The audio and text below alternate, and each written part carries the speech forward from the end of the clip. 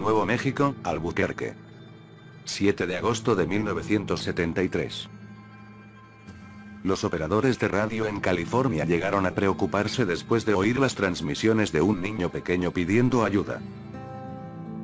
Mientras que las primeras transmisiones fueron reportadas en California, las peticiones de ayuda provenientes de este pequeño fueron recibidas por algunas estaciones de radio de banda civil a lo largo del país e incluso en Canadá. La señal del niño se estaba volviendo cada vez más débil, ya fuera debido a las condiciones atmosféricas o debido a la descarga de la batería de su transmisor. De acuerdo con el niño, su nombre era Larry. Los operadores de radio fueron capaces de oír que él quedó atrapado junto con su padre, en su camioneta después de un accidente. El pequeño decía que su padre podría haber muerto debido a un ataque cardíaco.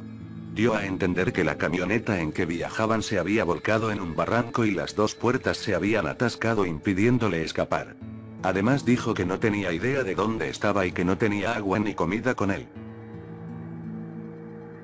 Los operadores llamaron a la policía y les contaron sobre el caso de Larry. En los días posteriores a las primeras transmisiones del niño, comenzó una gran búsqueda. Con la ayuda de aviones y voluntarios las autoridades trataron de encontrar al chico en los alrededores de la zona de donde pensaban que podría venir la señal, pero era un terreno difícil, pues creían que se encontraba en algún lugar entre las montañas. El incidente llamó la atención de las televisoras y los medios impresos. Los periódicos al igual que los noticieros comenzaron a hablar del caso de Larry. En los días siguientes, la señal de Larry se volvió cada vez más débil hasta que desapareció por completo el 12 de agosto de 1973. Este también fue el día que las autoridades detuvieron la búsqueda porque llegaron a pensar que todo fue una broma. Ellos basaron esta teoría en el hecho de que no podían localizar la camioneta y que no se había presentado ningún reporte sobre un niño desaparecido llamado Larry durante los cinco días que duró esta búsqueda.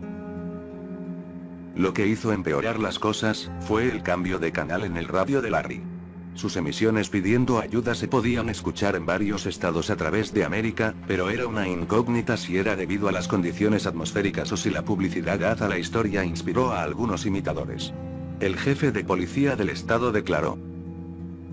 No contamos con información que sea definitiva para asegurar que en verdad hay alguien perdido, y dónde podría estar esta persona. La búsqueda estuvo tan mal organizada y caótica que, aunque Larry hubiese estado en la zona, no había garantía de que pudieran encontrarlo.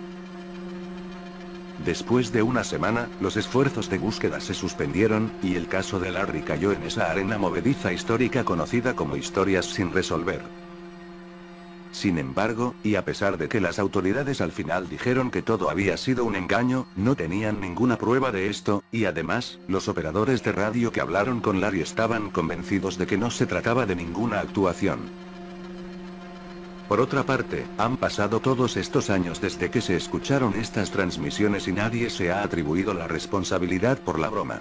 Si es que acaso se trataba de una broma. Hasta el día de hoy, este se considera un caso sin resolver, y aún queda en algunos el temor de que un niño podría haber muerto. Atrapado, solo y desamparado en alguna parte.